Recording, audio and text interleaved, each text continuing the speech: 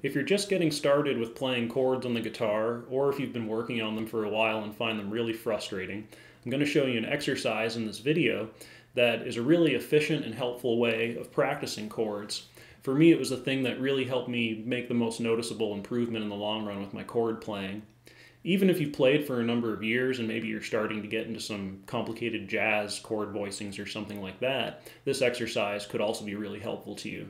So we only need one chord to show us how to do it because the idea applies to any chord that you're going to learn on the guitar. Let's start with something simple that hopefully many of us have already encountered, the G chord. Just in case you haven't, starting up here on string 6, you want your middle finger to fret the 3rd fret. On string 5, you want your index finger to fret the 2nd fret. The next three strings are all open, and then your ring finger will fret the third fret of the first string. So you should end up with those six notes in that chord. Okay, now that we have G, here's the exercise. What you're going to do is you're going to take your fingers off and get them all confused about where they just were. Come back and strum the chord again. And that's it. That's really all you have to do.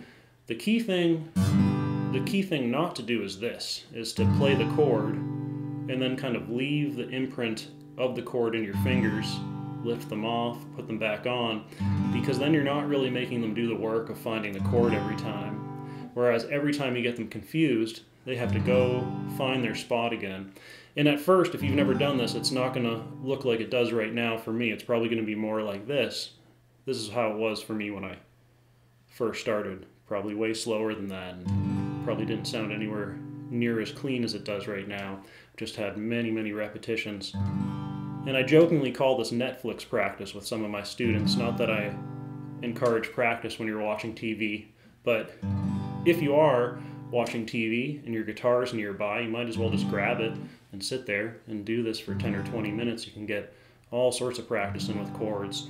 And like I said, it works for everything. So if C is a tough chord for you, then this is a great way to memorize it and just help your fingers find their notes faster.